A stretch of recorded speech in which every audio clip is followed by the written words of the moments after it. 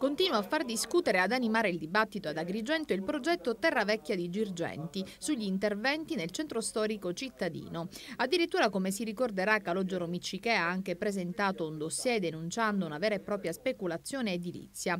Oggi anche il Partito Democratico Agrigentino e in particolare Domenico Pistone esprimono perplessità evidenziando che si tratta di dubbi già sollevati nel giugno scorso. Alla luce della recente polemica, dice Pistone, riproporre quelle perplessità e fare alcune considerazioni relativamente al progetto stesso è doveroso.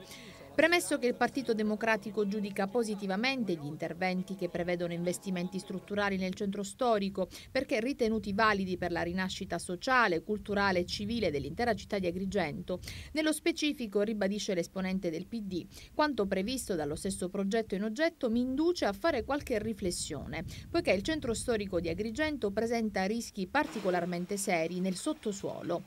La presenza infatti degli ipogei fa sì che il sottosuolo agrigentino sia sottoposto a rischi idrogeologici di una certa rilevanza. Che senso ha, aggiunge, andare ad appesantire ancora di più il centro storico con massicci interventi di cementificazione? Pistone sottolinea poi che inizialmente il progetto prevedeva 29 alloggi e successivamente il comune di Agrigento ha previsto altri 10 alloggi, portando così il progetto a 39.